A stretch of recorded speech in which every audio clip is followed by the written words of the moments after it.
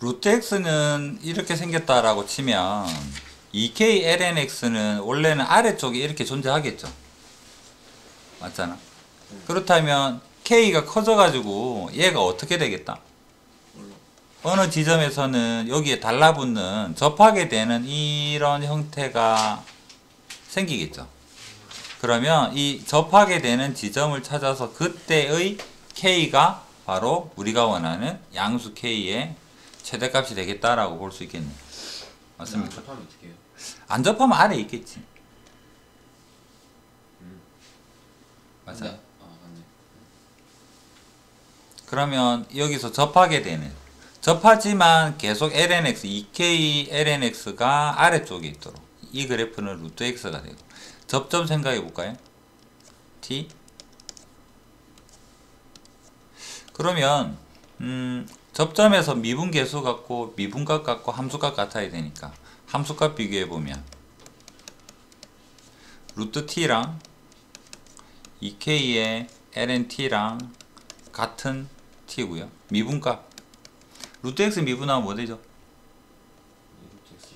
2 루트 x분의 1 얘랑 2k lnx 미분하면 t분의 2k 얘를 연립을 해서 t 또는 k를 찾아봅시다.